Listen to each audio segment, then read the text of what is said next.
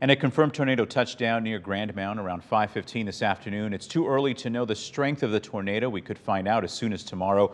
But a house just north of town collapsed, trapping some of the homeowners. News 8's Jenna Webster explains. We're here in Grand Mound where this house behind me was built in 1918, but all it took was seconds to destroy. When we got to the basement door, we looked out and we could see the funnel cloud coming straight at the house. Donna Mackin and her son Jake standing in front of what remains of their family home built by his great grandfather. The remains scattered debris.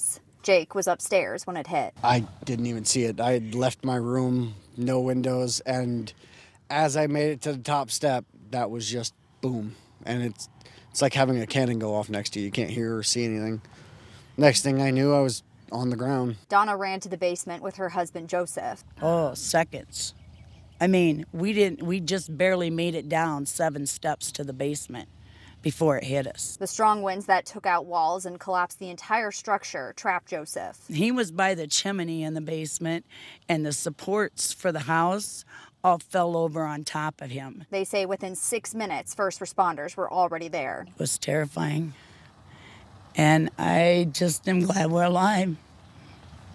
Very grateful. Grateful, and as they look out at what remains of a century of memories, looking to what they'll have to do next. It's funny because I'd asked the kids if they wanted to save the old house or just build a new one out back.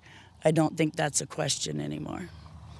We're going to have to build a new one out back. In Grand Mound, Jenna Webster, WQAD News 8. And her husband was taken to the hospital, but again, all of them are okay, and they say they can't thank first responders enough.